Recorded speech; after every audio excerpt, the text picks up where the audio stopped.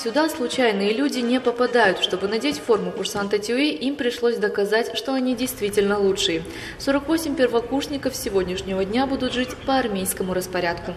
У вас впереди еще очень много учебных дисциплин, которые предстоит изучить, зачетов и экзаменов, которые предстоит успешно сдать для того, чтобы стать настоящим специалистом и добросовестно, качественно выполнять обязанности по поддержанию правопорядка на улицах наших городов. Учеба это самое важное, но кроме этого необходимо еще и стать настоящим защитником по своей душе, по своему характеру. И в этом тоже значение Тираспольского юридического института нельзя переоценить. Самая зрелищная часть торжественного собрания – показательные выступления. Для первокурсников ответственный момент – показать все, чему их успели научить за три недели курса начальной профессиональной подготовки. Для кого-то это уже маленькая победа.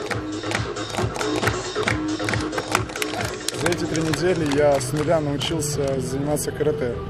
Это для меня, я сам спортсмен, но в другом, в другом, в другом стиле. Но карате за три недели освоить это было что-то с чем-то. Я очень рад, доволен. Показательное выступление всем понравилось. Родители плакали. Это вообще это самый трогательный момент вот сейчас, который был, это слезы мамы. На него смотрела, у меня я еле-еле сдержала слезы, честно.